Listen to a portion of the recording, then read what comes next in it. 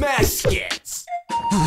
Oh, God damn it. Is this a queue for the toilet? Yeah. Oh. Dude, I gotta go so bad. Let me skip in front of you guys. Nah, No definitely way. not. I've got a bowel condition. Yeah? Well, I've got meatloaf in my fridge at home. So? Exactly. Oh, he's done you. Yeah, well, your fucking mom sucks dick and shit. I mean, she just sucked my dick, so. And shit. You suck shit when my penis comes out of her anus. Ah!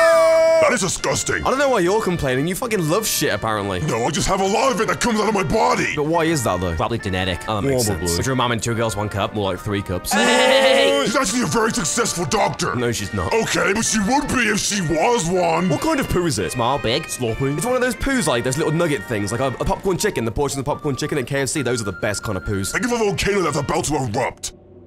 That's fucking disgusting. How long is the guy gonna be in there for? I don't know. Why? What do you mean? So I can take a turn? Oh. Hey, hey, come over here.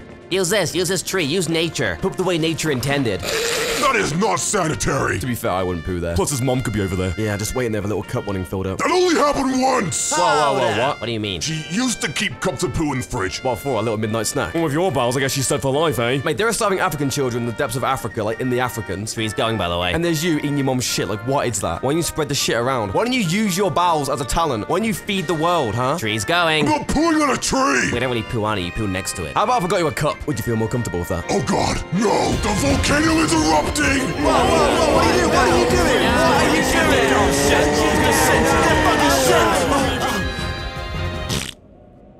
Ew. Thank God that's all.